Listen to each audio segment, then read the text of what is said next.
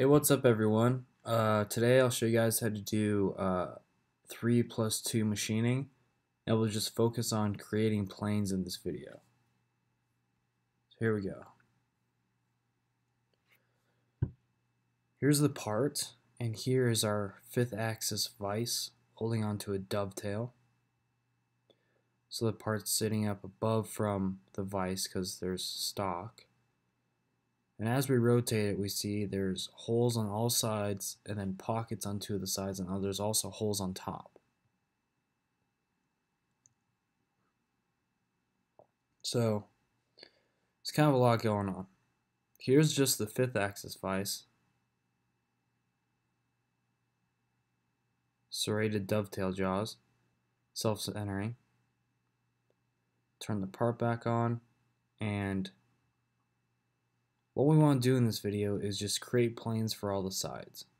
So we'll go up to the green plus, click create new plane from solid face and click the top face first. This is where we're going to start. This is where we're going to probe off. We're going to just probe the center of the part. We'll call that plane 100. The work coordinate center uh, will be right in the middle of the part. So it's it's kind of like three axis style where you're just probing the center and you're going to do the top face. That's how we're going to start. I'll show you what we do next.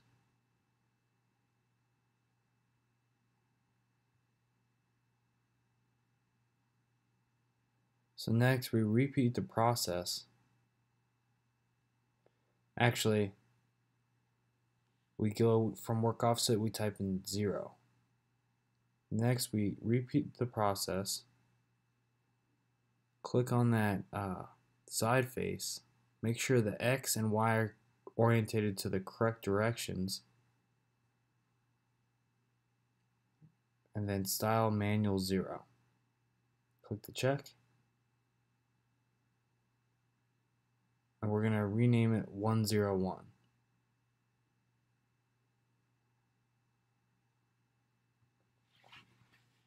Okay, that is our first rotation. So we did the top face, we rotated the side, and we did the holes. Now, we're going to rotate 180 and do the same thing. You want your X and Y facing the correct directions. For me, on my DMG I run, it is uh, X90, Y90, and then Z just facing up. So that's our second rotation call it 102 for op 1 rotation 2 and you see we keep going into manual and typing in 0 and that's because we want Mastercam and the machine, in my case DMG, in your case it could be like Mazak or Haas or whatever, we want Mastercam and the kinematics to talk to each other and tell each other where these faces are without having to reprobe. So you don't want to have to rotate this thing up and re reprobe the part.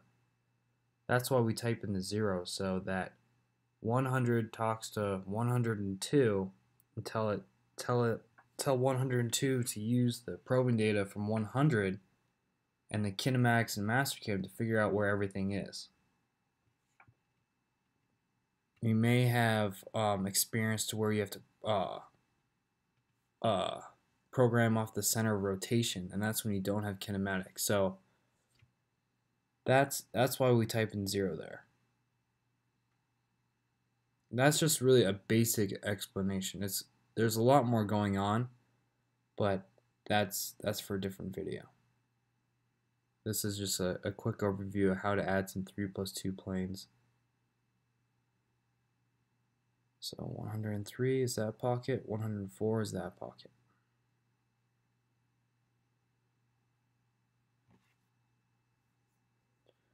So there's no need to make it super complicated. You can name your planes whatever you want. They could be A, B, C, D, and E, or 100, 101, 102, 103, 104. I do, for my first op, it's 100, and then it starts counting. So if you have 10 sides, you go up to 110. And then for my second op, it's 200. And if you have multiple sides on there, it's 201, 203. So everything kind of stays um, everything stays together and then I can name my my toolpath groups um, 100 200 and then you can name your levels 100 200 so you can just select everything across from toolpaths planes and levels and just really know where you're at at all times. So this is our uh, uh, basic video on how to add 3 plus 2 planes. I hope you guys enjoyed it and subscribe for more. Thanks